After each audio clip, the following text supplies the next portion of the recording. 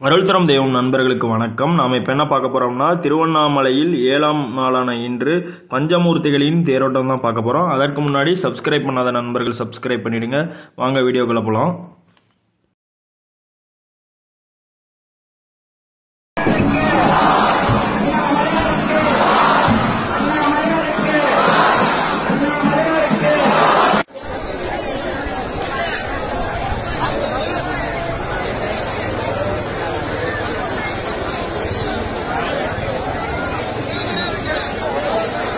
Gracias.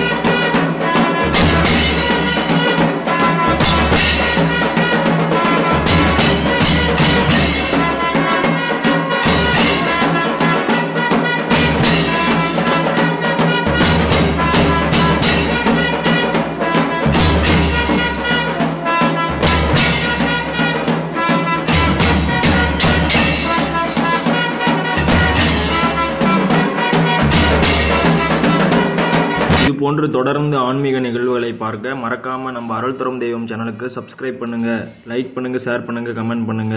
நன்றி வணக்கம்.